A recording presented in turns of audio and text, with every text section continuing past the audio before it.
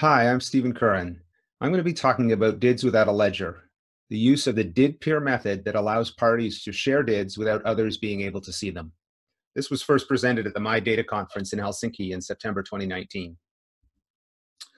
In traditional DID methods, a private, a, a public entity like Acme would put their DID on a blockchain on a ledger, and it's visible to everyone. So in this in this picture, we see that Acme has registered a DID They've uh, put it on the blockchain, and anyone in the world can resolve it and see what's in the DID doc.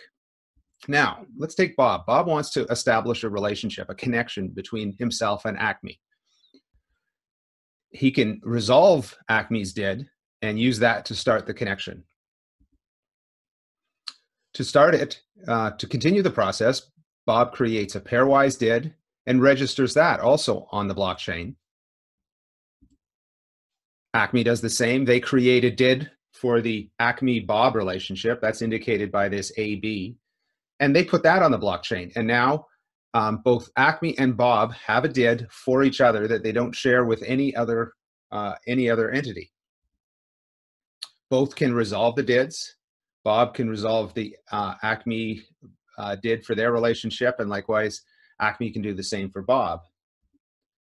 But the weird thing is that everyone in the world can also resolve those DIDs. So although Bob and Acme will only use those DIDs for their relationship, everyone else in the world can see them. And that's the challenge we're trying to solve with pairwise DIDs. Let's take a look at how pairwise DIDs and the DID peer method work.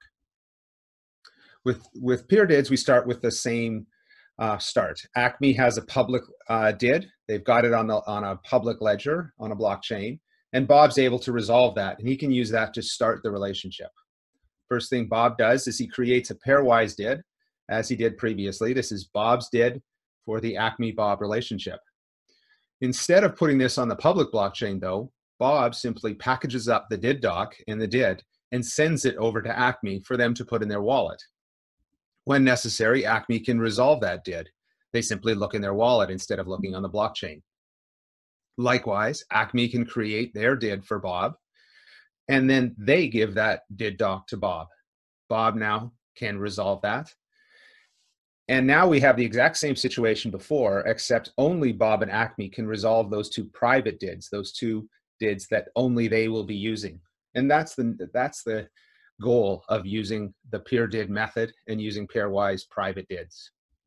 So why do we do this? Let's take a look at the of what we've achieved in doing that. First of all, we've got scale.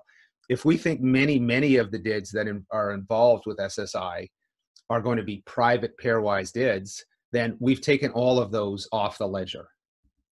Um, there's no transaction fees, no operating expenses, no bills. There's no nothing to be put on the ledger, so therefore no fees to pay or anything like that. The DIDs are simply exchanged between the two parties that want to communicate.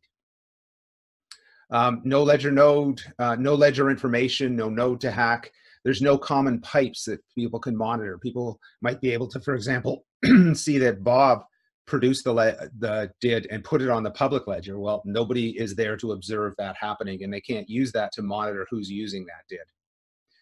Only Bob and Acme know or care about the uh, DIDs that they created. They have more privacy. And this scale, um, this comes back to the scaling. The performance matches the number of parties uh, using SSI and the number of parties in the relationship. And finally, from a regulation point of view, uh, a DID might, uh, by in some consider DID a uh, piece of private data, a private um, identifier for a person, and so there's no regulation if there's no DID put on a ledger for Bob.